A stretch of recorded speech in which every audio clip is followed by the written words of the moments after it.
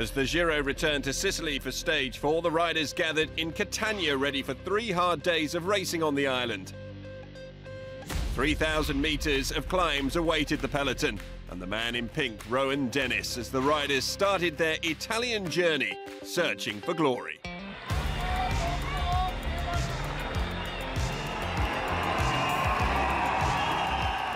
Tim Wellens starts to open things up. Tim Wellens of Belgium is in the centre of your screen. Michael Woods is just behind. Woods, Wellens, Wellens from Belgium and Lotto. Tim Wellens takes the stage. What a win. Woods is in second place. Of course, I'm very happy, especially because it's already the fourth stage. This relieves us from the stress. Now we can go easy in the rest of uh, the Giro. And often when you don't have stress, everything comes uh, easier. I'm not counting on the Maglia Rosa. I'm really very, very happy with the stage win. In retrospect, I'm pretty pleased with my result. I'm pretty pleased with how I performed. I feel like I, I lived up to, a bit to my expectations, but I still wanted to win. Um, my teammates were amazing, particularly downtown Nate Brown uh, and Tom Van Asbroeck, but the whole team really helped me a lot, and uh, I wanted to win for them. So coming second was you know, a bit tough, but uh, still I was pleased with how my legs were. A steep climb leading to the final kilometre on stage five forced the field to dig deep, leading to an impressive sprint finish. Battaglin on the left-hand side for Otto Enel Battaglin is going. Battaglin looks like he's going to take the win for Italy and Lotto Enel Battaglin third yesterday. Looks like he is going to take the win. What an absolutely superb victory. Timed it to perfection. Battaglin takes the win. Etna, 2018's first summit finish. A day pivotal in the battle for GC, and EF Education took InCycle along for the ride.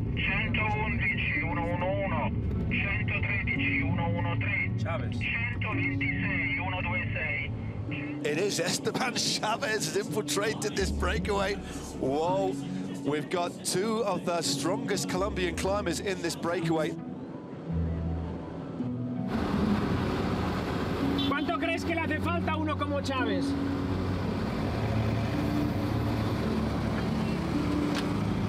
Un minuto gana, hombre. Con uno yo no creo. Pero tipo 1.40, una cosa así. Sì. Non so, ancora è possibile che andiamo davanti e facciamo la, il, il finale con Joe, ma sarà dura. Comunque siamo dietro il gruppetto e Vedi, questa è una ruota che gira. A volte siamo su, a volte siamo giù. Look at the face here of Esteban Chaves. 31 seconds to the good. The runner-up in the Giro a couple of years ago.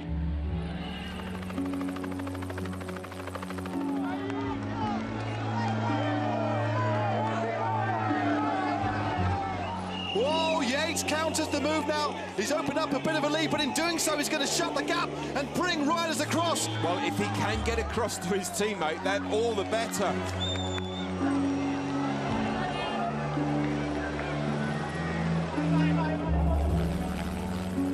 A spectacular finale to stage six of the Giro d'Italia. This is what the Giro is all about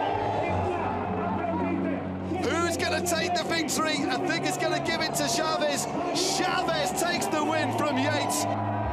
Real class act from Yatesy to to let Esteban win the stage, and the way they went about it, the way they went about it. It wasn't, like I said, it wasn't a planned move, but uh, you got to, those guys have got to be able to think on, on the run, and they certainly did, and it's a really nice way to start off our, our campaign to try to win the Giro here.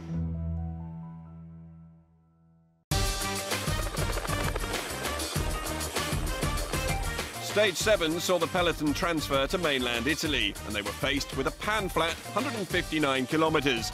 As expected, after a grueling Etna climb the day before, it concluded in a bunch sprint.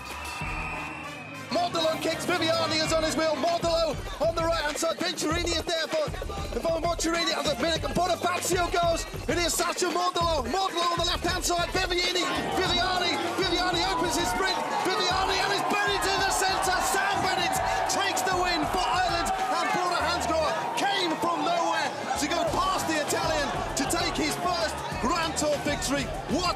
win from nowhere.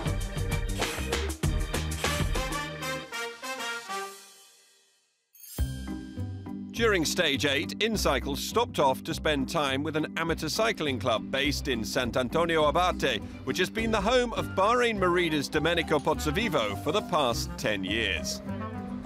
La nostra è una famiglia del dopoguerra che fa attività di ciclismo. E poi nel corso degli anni abbiamo avuto diverse squadre nel nostro paese. Diciamo che abbiamo una cultura San Antonio Abate del ciclismo. E oggi teniamo una squadra allievi giovanissimi e esordienti. Occupiamo i primi posti della classifica nazionale e quindi una grandissima responsabilità mi, mi, ha, mi ha delegato di condurre questi ragazzi.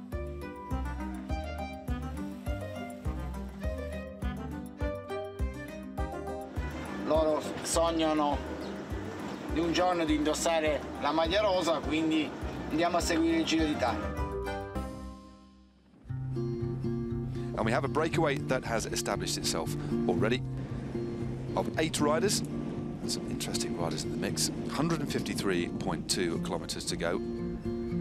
Sì, beh, sta una fuga abbastanza corposa, a più o meno 42 secondi, il gruppo sta cercando di andarla a riprendere, ma la salita non essendo molto impegnativa penso Dumoulin, però spero ovviamente in Pozzovivo. Quindi. Abbiamo ancora il fans club Domenico Pozzovivo, siamo stati i primi a fare il club Domenico Pozzovivo. There's a crash. We knew they could be crashes. Chris Froome is down. Chris Froome is down. One poles as well. But Chris Froome being forced to chase. We said there's difficulties on this on this climb. Well, Chris Froome has had a torrid opening to this tour.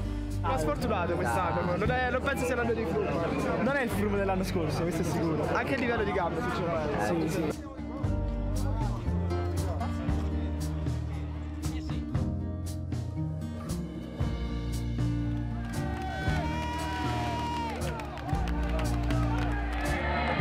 Spectacular, aggressive performance this is from Richard Carapaz, distancing some of the finest climbers in the world. It looks like with 900 metres to go, he's going to take this stage.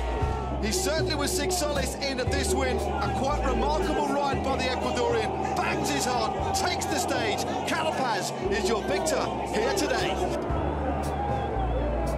The man the young riders were there to see, Domenico Pozzovivo, crossed the line in sixth. As expected, was greeted with a hero's welcome.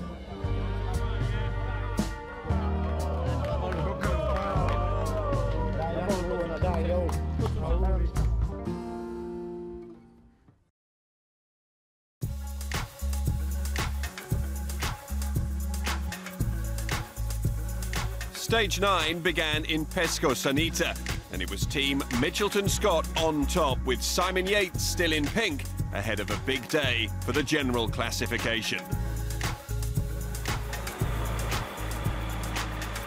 all of the main GC protagonists at the head of affairs. Tom Dumoulin looks round. Also one of the riders from Bardiani CSF on the offensive as well. Froome has been detached. He's got Betancur for company. Simon Yates goes on the outside. Thibaut Pinot tries as well. Yates on the outside in the pink jersey of the Maglia Rosa. Yates is looking remarkably strong, coming into the finishing straight. Pinot fights. Pinot fights. It is a day again for Simon Yates the Maglia Rosa. Takes the stage. What a win by Simon Yates. There's not too much for us to do now until, the, until next weekend. When we do get to the weekend, we're, going to have to be aggressive again because we know that we're going to lose out time to Tom Dumoulin. That's natural. Everyone is. He's uh, the world time trial champion. So we have to take time and we have to take it whenever we get the chance.